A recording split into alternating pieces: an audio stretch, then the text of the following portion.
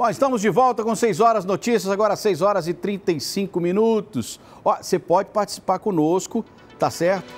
Através das nossas redes sociais. O número está aí na tela. Manda seu WhatsApp, manda sua mensagem, manda sua foto, comenta sobre o programa de hoje. Você pode acompanhar o programa também através das nossas redes sociais, principalmente no Facebook. Estamos ao vivo, tá? Em tempo, TV em tempo, online no Facebook para você acompanhar o programa ao vivo.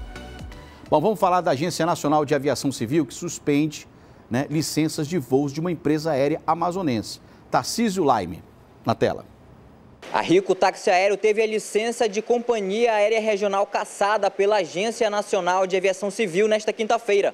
A medida vem em decorrência das elevadas dívidas da empresa com a Receita Federal e a Previdência Social, ambas já em fase de execução. A Rico foi a maior companhia aérea regional do Norte, tendo no auge operado quatro Boeing 737-200, Embraer Brasílias, um jetinho executivo King Air e um hidroavião Caravan. A companhia, que nos últimos anos estava focada no ramo de táxi aéreo, definhou nos últimos três meses, chegando a cancelar um contrato de aluguel de um jetinho King Air e um avião anfíbio Caravan, que era mantido com o governo do estado. Os proprietários da empresa não se pronunciaram sobre o futuro da companhia criada em 1974 por Yurtsever Munur, o comandante Mickey.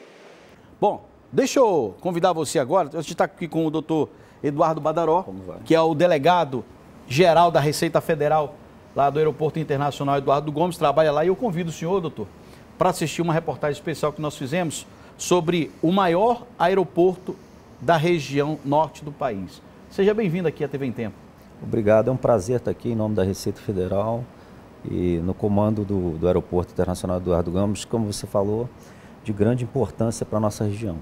E tem uma batalha árdua lá contra o crime organizado, né? Sem dúvida, né? Uma nossa fiscalização muito ativa, né?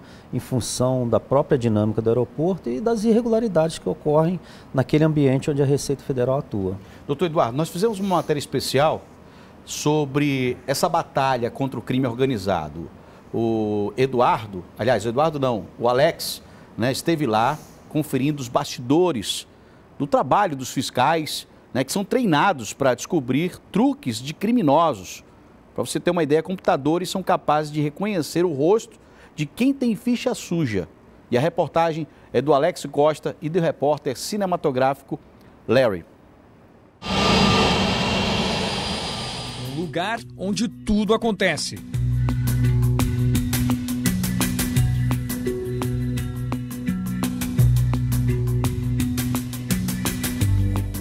Por dia, cerca de 8 mil passageiros embarcam e desembarcam no Aeroporto Internacional Eduardo Gomes.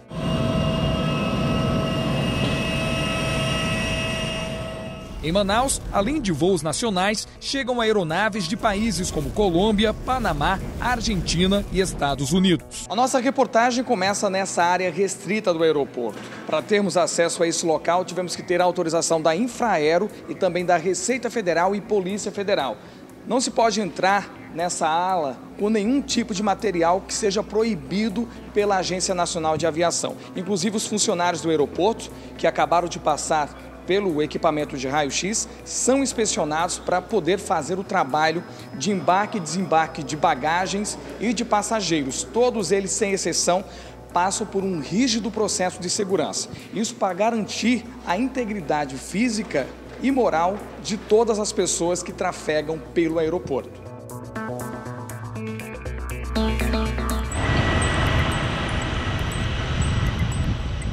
Mercadorias de várias partes do mundo chegam a Manaus diariamente a bordo dos cargueiros. O aeroporto possui três terminais de carga aérea, capazes de exportar 30 mil toneladas de bens de consumo, produzidos e exportados da Zona Franca de Manaus.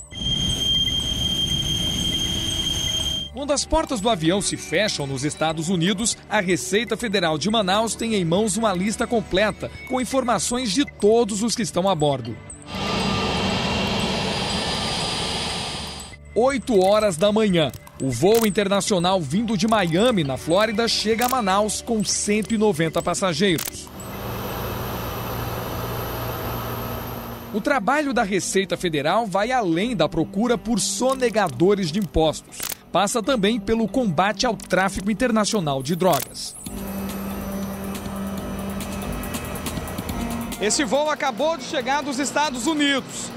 Essas bagagens todas estão sendo levadas para um lugar diferente hoje, especificamente para fazer um trabalho da Receita, de verificar o que está dentro de cada uma das malas. Agora está mais um carrinho parando aqui, as bagagens descendo e tudo isso sendo acompanhado de perto pelos agentes. Inclusive um agente canino, o nome dele é Odin, e ele é um cão preparado para esse tipo de operação. Ele consegue sentir o cheiro de qualquer tipo de entorpecente. Inclusive, se a pessoa tiver ingerido algum tipo de entorpecente poucas horas antes da viagem, ele consegue identificar. E a gente está acompanhando esse trabalho Daqui a pouquinho ele irá mais uma vez se aproximar das bagagens que estão descendo e fazer a verificação olfativa. O trabalho tem que ser cotidiano e frequente. Quer dizer, nós temos um só cão, provavelmente até o final do mês recebamos um segundo, e aqui qualquer voo, principalmente voo doméstico, é de risco.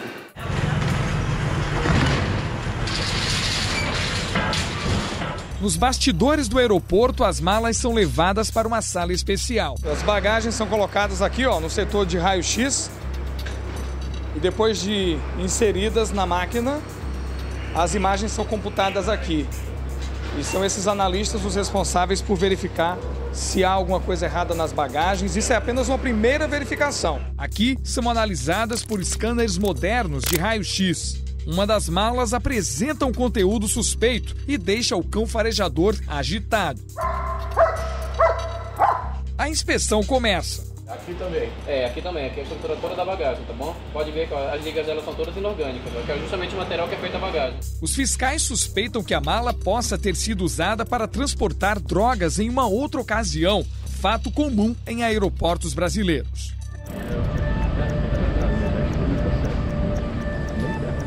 As malas seguem para as esteiras do aeroporto, onde são recuperadas pelos passageiros. A decisão de declarar ou não bens que ultrapassem 500 dólares é individual.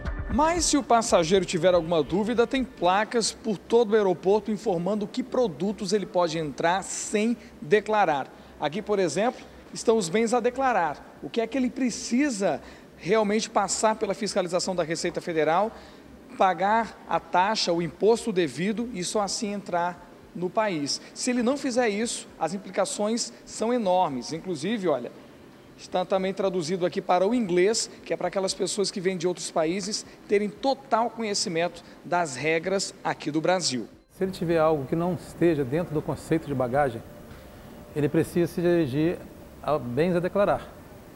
Por quê? Depois que ele não, se ele não fizer isso, e a própria aduana vai verificar. Aí, a partir do momento que a aduana verificar, ele perdeu essa oportunidade, ele perdeu a espontaneidade dele. Então, nesse caso, se for detectado algum, algum item que não faça parte do conceito de bagagem, além da tributação normal desse item que é previsto, ele vai ter uma multa de 50% do valor aduaneiro desses itens, exatamente por não ter escolhido o canal correto, que é o bens a declarar. Câmeras de última geração fazem um pente fino eletrônico em perfis potencialmente perigosos. Quem não deve nada é liberado para entrar livremente no país. Quem deve é direcionado para a fila de bens a declarar. A Receita Federal do Brasil apreendeu 3 milhões e meio em drogas e mercadorias ilícitas enviadas por encomendas postais em Manaus nos sete primeiros meses deste ano e no mesmo período mais de um milhão de reais em mercadorias em situação de descaminho e de contrabando.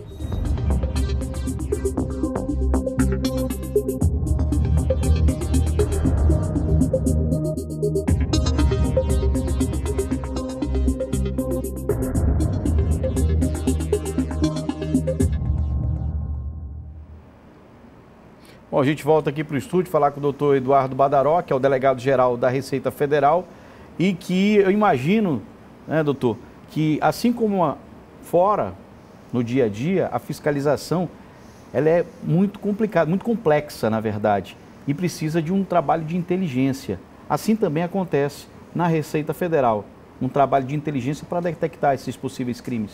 Exatamente. Hoje, né, a gente sabe que as irregularidades vão também sendo aperfeiçoadas, né? E a Receita Federal não pode ficar fora disso. Né? Então a gente sabe que é importante você analisar o cenário né, com a gestão de risco. A Receita Federal trabalha muito nisso, gestão de risco, para você identificar qual o tipo de irregularidade que possa acontecer e o alvo, saber exatamente onde você deve atacar para acabar com a irregularidade. Né? É, esse é o nosso trabalho do dia a dia ali na fiscalização. Eu costumo dizer que é, é, é para um criminoso ele tem que ser muito cara de pau, porque com as tecnologias que nós temos hoje, temos cães farejador, inclusive é, eu, eu, como estava conversando aqui é, nos bastidores aqui com o doutor Eduardo, o Odin, que é o cão farejador de é, excelente faro, né? Porque ele tem, tem surpreendido muito com, com tem detectado vários, vários, vários casos de tráfico de drogas dentro da, da, nessa questão da Receita Federal, no aeroporto, nos Correios. Né? Então é, é, é, é, se, é se equipar cada vez mais para combater esse tipo de crime. Exatamente. Esse é, uma, é um diferencial quando a gente agrega né, ao nosso trabalho do dia a dia as ferramentas. Né? Então, o cão de faro é uma dessas peças importantes, né? porque sem o cão a gente não consegue é, localizar. Você, às vezes você está do lado de uma mala, de uma mercadoria que possui, que a droga está ali dentro, e você não consegue detectar. E às vezes até com o uso do scanner fica difícil essa detecção. Já com cão de faro, não. É de imediato, ele é um cão que não falha, é uma excelente ferramenta de trabalho que, do nosso dia a dia. Né? E isso agregado aos demais ferramentas que a gente tem, reconhecimento facial, sistemas informatizados né, de inteligência artificial que também nos dão a capacidade de enxergar com antecedência todo o cenário, toda a situação que vai ocorrer durante aquela fiscalização. E a gente pode ali apontar possíveis alvos que estejam com irregularidade. Entre os crimes que a gente fala é tráfico de drogas, descaminho, contrabando. É, é, é, o senhor tem aí em mente aí algum, algum caso que aconteceu que, que teve repercussão assim dentro da Receita Federal? Sim, são, são diversos casos né, que a gente tem, porque o trabalho da Receita no aeroporto, ele acaba é, se deparando com as situações relacionadas ao contrabando de mercadoria, né? É, mas também com tráfico de drogas, porque o aeroporto de Manaus hoje, ele é o segundo aeroporto em apreensão de drogas no Brasil. Então, a droga está ali circulando ali, né? Então, a gente tem vários casos, né, que a gente pode, que acabam gerando até prisão de passageiros, né? E agora, na sexta-feira, a gente já teve uma situação lá, que foi uma carga justamente na gestão de risco, que se chamou a atenção, né, que poderia haver alguma irregularidade com essa carga, uma mercadoria saindo de Manaus, que o, a Receita Federal também faz esse controle né, da, da Zona Franca de Manaus, da saída da mercadoria da Zona Franca. E ali houve-se uma, mesmo passando no scanner, havia-se uma dúvida, né, o que, o, qual o conteúdo daquela mercadoria, e estava oculto realmente dentro da mercadoria quando se chamou o cão de faro e foi detectado que havia droga, 4 quilos de droga no interior da, da mercadoria. Doutor Eduardo, só falou que o, o, Aeroporto Internacional Eduardo Gomes é o segundo onde acontece maior número de apreensões de drogas. A gente já pode fazer um balanço desse ano de 2019? Sim, só esse ano nós já tivemos aí em torno de 400 quilos de droga apreendido aqui no Aeroporto Internacional de Eduardo Gomes. Né? Isso se deu muito em função da, da vinda do cão de faro, né? Uhum. Então a gente teve aí um aumento muito grande de apreensão no ano passado e esse ano já tivemos uma diminuição. Isso significa que a atuação da fiscalização, né, dos órgãos de segurança também, fiscalização da Receita, juntamente aí com a equipe do cão de faro, que inibiu mais a gente ter um número menor esse, esse ano, né? E, e esse trabalho ele é não só naquele, no, no, convencional, nos voos convencionais, comerciais, internacionais, como também é, transporte de cargas. Exatamente, né? A nossa atuação lá, além de ser nos voos, nos passageiros, é na carga, né? O aeroporto Eduardo Gomes também é o terceiro maior aeroporto em movimento de carga do, do país. Então nós temos uma atividade muito grande de fiscalização na carga, na mercadoria. Tanto mercadoria importada que vem do exterior, como a mercadoria que sai da Zona Franca de Manaus, que existe é, uma necessidade do controle da receita nessa mercadoria também. Falando em balanço, doutor Eduardo, que que, o que, que a gente pode é, pensar de melhor para 2020, já que a gente já está finalizando o ano de 2019, né? As melhorias que a gente pode trazer para que essa fiscalização continue e melhore ainda mais no combate ao crime organizado? Olha, sem dúvida, né, a Receita tem investido bastante na tecnologia. Nós teremos algumas inovações aí na parte de passageiro, inclusive em 2020, que a gente nós conseguiremos mais dados até da reserva, mesmo antes do avião sair do, do exterior, nós já teremos dados para poder pesquisar. Nós poderemos ver uma reserva feita com um mês de antecedência do voo e isso está previsto para 2020. Então, é, alguns sistemas irão é, avançar, novos sistemas virão, tudo em apoio a essa fiscalização da, da Receita Federal. Então, a tendência é que o nosso trabalho até melhore, né? A gente cada vez mais usando tecnologia, a fiscalização ela fica mais eficiente, né? Nós podemos atingir detectar os alvos e atuar naqueles alvos. Muitas vezes as pessoas ficam assim, é, constrangidas, ficam chateadas por, por conta de, de passar de uma fiscalização, mas é importante, né? É bom deixar claro para a população que é importante essa fiscalização, que ela aconteça até para resguardar a segurança do passageiro. Exatamente, é o que a gente quer. A Receita ela faz a fiscalização, mas com todo o preparo, os auditores fiscais, analistas tributários têm todo um preparo, inclusive fazem treinamento para tratar com a pessoa, fazer esse atendimento, né, com a pessoa. E o importante é que a tem irregularidade, né? O, que que você, o que que seria o melhor? Que nós estivéssemos viajando num voo tranquilo, sem que a pessoa do lado, do nosso lado, tivesse com droga no corpo, por exemplo, uhum. ou com a sua mala ao lado ali, com cheio de droga ou com mercadoria irregular, né? E que, porque a gente tem que lembrar, né, que o contrabando também é um crime, né? Então, assim, é, a atuação da Receita é nesse sentido é que essas irregularidades não aconteçam, né? E isso é para o bem de todos nós. A sociedade no fim, o trabalho é feito para a sociedade, para que tenhamos uma sociedade cada vez melhor. Existe algum, algum trabalho, alguma, algum elo de ligação com a Polícia Federal, Receita Federal? Porque quando a gente fala de segurança aeroportuária, segurança nos aeroportos, inevitavelmente a gente tem que lembrar do, de 11 de setembro que aconteceu né, nos Estados Unidos, aquela tragédia.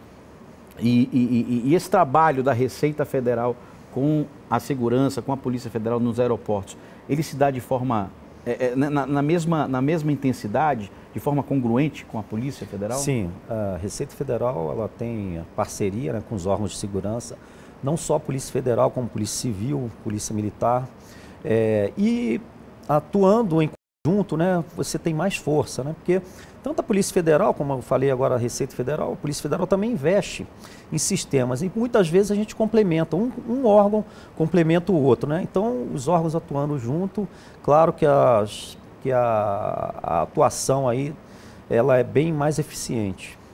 Doutor Eduardo, muito obrigado pela sua participação. Obrigado, a, O estúdio aqui, o jornalismo da TV em Tempo está aberto aqui sempre para a Receita Federal. Se tiver algum telefone de contato, quiser divulgar alguma situação, o espaço está aberto nesse momento. Perfeito. Eu que agradeço aqui essa oportunidade né, de estar falando aqui da atuação da Receita Federal, no caso no Aeroporto Internacional Eduardo Gomes. Nós sabemos da importância da Receita para é, o movimento do dia diário desse aeroporto e a gente está sempre à disposição. O site da Receita tem os contatos, é, qualquer pessoa pode acessar lá. Eu que agradeço. Muito obrigado, doutor. Obrigado. Seja sempre bem-vindo aqui à TV em Tempo. E ó, vamos voltar a falar de, de Natal. A prefeitura. Ah, já está com, a, tá com, a, com a Samara ao vivo? Então me traz a Samara ao vivo, porque acabou, acabou de acontecer um feminicídio. Estamos informando aqui a produção que na madrugada de hoje uma mulher morreu. Ela foi assassinada e a Samara está com as informações. Está ao vivo? Pode trazer a Samara aí.